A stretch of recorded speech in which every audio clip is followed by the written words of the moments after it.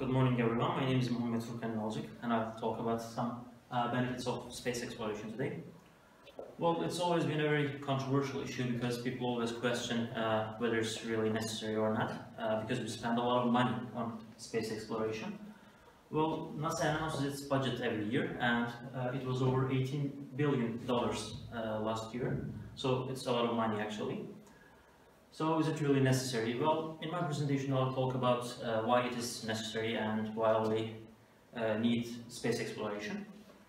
Uh, so let's take a look at my outline at first. Uh, I'll talk about two benefits of space exploration uh, in my presentation. The first one is uh, the technology that is developed with the help of space exploration. And secondly, I'll talk about long-term survival.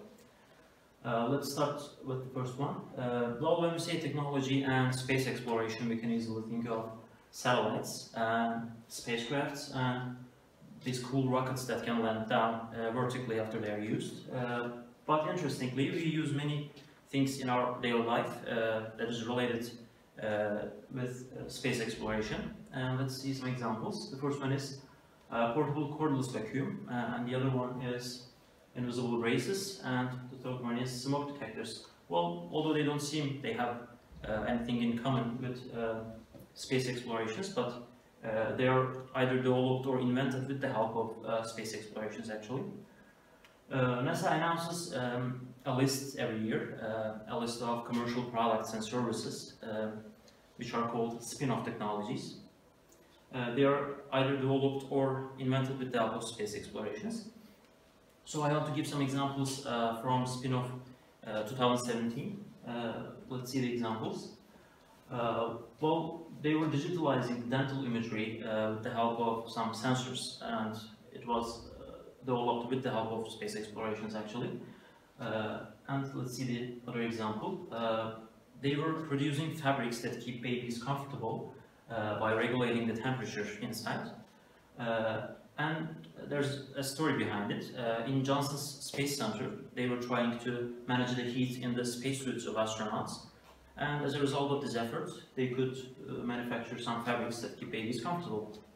Let's see the other example. Uh, thanks to uh, developed GPS technologies, we now have uh, tractors that can drive themselves. Well, we are familiar with the driverless cars, but uh, now we have driverless tractors, interestingly.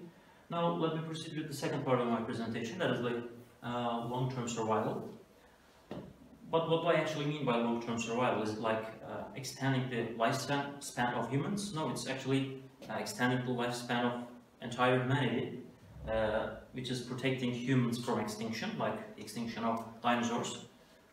Uh, according to NASA, on an average of every several hundred thousand years, uh, an asteroid larger than one kilometer uh, could cause global disasters. Well, this might seem a little unlikely, but there are, the, there are a lot of other dangers that might uh, come from outer space, and space exploration is probably the only way to uh, avoid such disasters.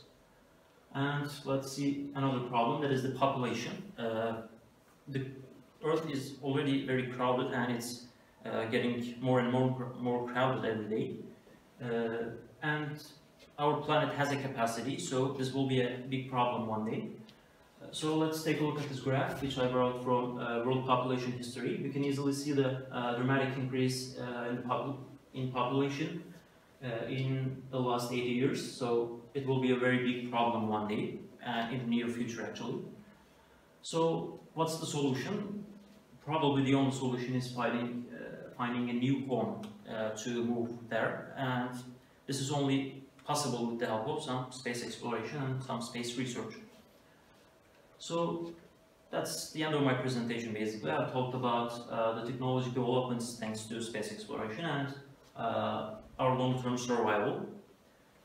Uh, so as a conclusion, I understand uh, that it's really necessary and it's really beneficial uh, considering the importance of developing new technologies, considering uh, the problems we might, we might face in the future, in the near future.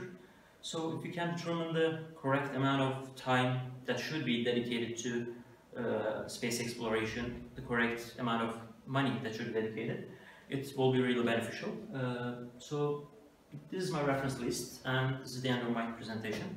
Thank you very much. If you have any questions, I'll be happy to answer.